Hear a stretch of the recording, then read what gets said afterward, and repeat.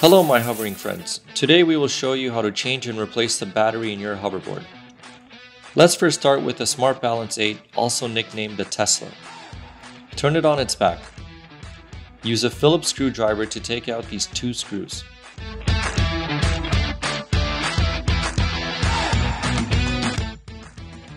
This Tesla is different from other hoverboards because you do not need to fully remove the back cover to access the battery compartment. Use a flat head screwdriver to pop open the battery cover.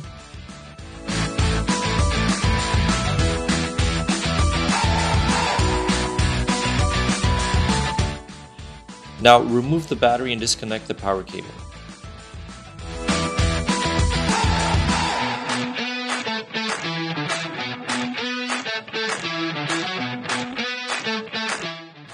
Put in a new battery, connect the power cable first, then slide in the battery.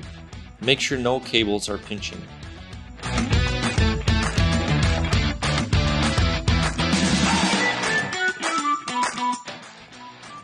Slide the battery cover back on. Screw back the two screws, and you're all done. Now let's take a look at our 6.5 inch hoverboards. This includes the Classic V1, Classic V2, 6.5 Pro, and all other variations. Make sure it's turned off and flip it on its back. There are two sides, one with speaker holes, the other is just a solid surface. Open up the solid side by unscrewing all screws with the Phillips screwdriver. Make sure you remember which screw came from which hole as they may not be all the same.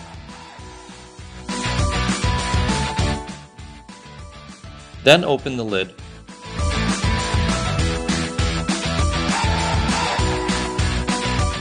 Make sure you do not pull or disconnect this cable. Unscrew the four screws that holds the battery strap.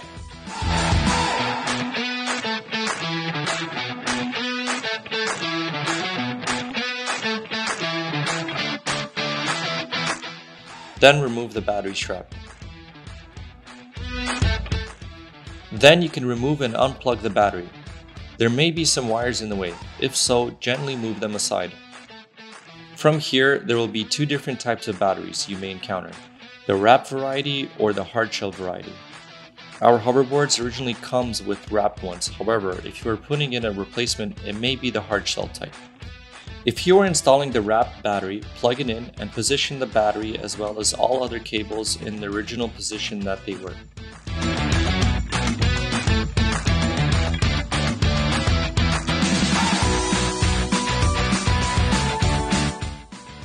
Screw the battery strap back in.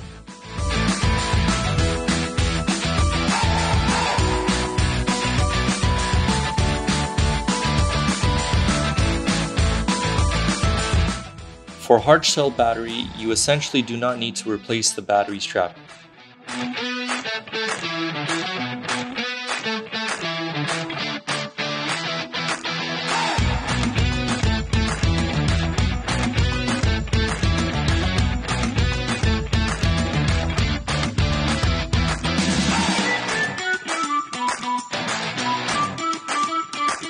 Line up the holes on the shell with holes in your hoverboard's frame, plug it in and insert the screws back in.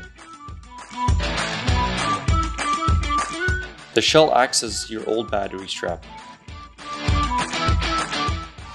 Then close and rescrew the lid in place.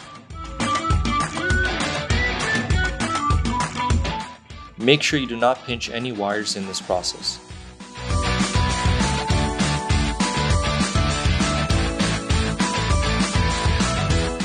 This is a little bit more difficult with the hard shell battery, but you can certainly do it with some patience.